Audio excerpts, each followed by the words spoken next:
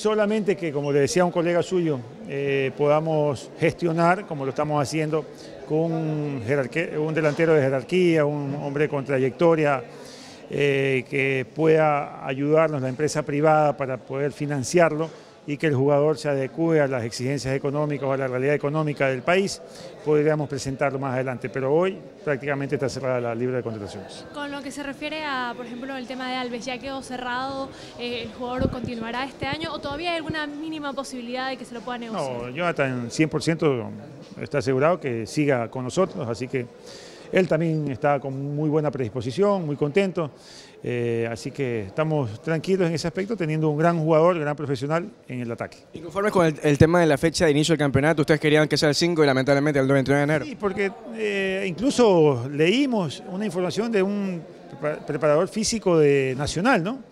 que recomendaba que no siquiera sea el 5, sino la siguiente semana, creo que el 12.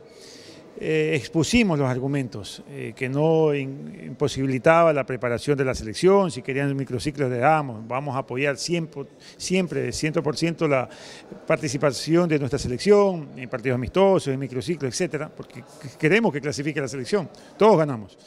Eh, en el calendario presentamos un calendario que no complicaba ningún domingo, siempre se iban a jugar todos los fines de semana, inclusive con una paralización entre eh, primera etapa, término y comienzo de segunda etapa, para descanso, fortalecer los equipos, etc. Y aún así estaban todos prácticamente los domingos eh, para jugarse, sin miércoles. Pero bueno, fue la decisión de la mayoría, sí agradecer y ponderar la unidad que hay en el fútbol de Guayas.